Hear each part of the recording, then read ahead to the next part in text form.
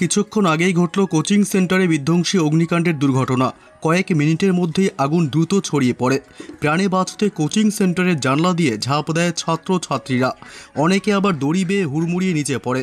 এর জেরে চারজন শিক্ষার্থী গুরুতর জখম হয়েছে। খবর যায় দমকলে।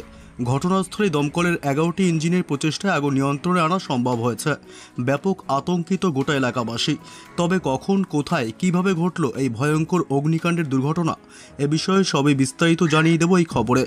বিস্তারিত জানতে খবরটি অবশ্যই শেষ পর্যন্ত দেখবেন। আর সবার আগে সবার প্রথম, পরবর্তী লেটেস্ট খবরগুলি জানতে আমাদের ইউটিউব চ্যানেলটি সাবস্ক্রাইব করে আমাদের সঙ্গে থাকবেন। কিছুক্ষণ আগেই কোচিং চলাকালীন ভয়াবহ অগ্নিকাণ্ড।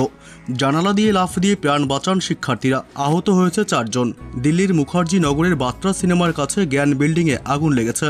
এই ভবনে অনেক কোচিং সেন্টার রয়েছে একসাথে। ভবনটিতে আগুন লাগার পর বিশৃঙ্খলা দেখা দেয়। জানলা দিয়ে লাফ দিয়ে প্রাণ বাঁচান শিক্ষার্থীরা।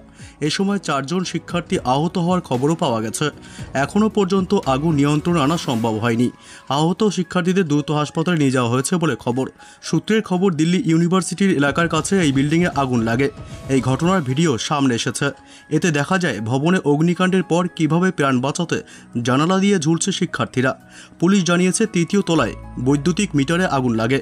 আগুন বড় না হলেও ধোঁয়া ওঠার পর শিক্ষার্থীরা আতঙ্কিত হয়ে পেছনের রাস্তা দিয়ে ভবন থেকে নিচে নামতে শুরু করে। শিক্ষার্থীরা দড়ির সাহায্যে ভবন থেকে নিচে নামেন। এ সময় আহত হয়েছেন চার শিক্ষার্থী। আগুন নেভানোর জন্য এগারোটি দমকলের ইঞ্জিন পাঠানো হয়েছে। সকল শিক্ষার্থীকে উদ্ধার করা হয়েছে।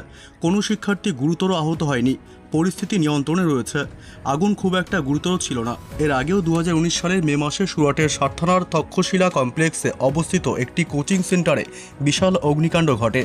এই ভয়াবহ অগ্নিকাণ্ডে কুড়ি জন শিক্ষার্থী প্রাণ হারায়। এ সময় আহত হয়েছেন একই সংখ্যক শিক্ষার্থী।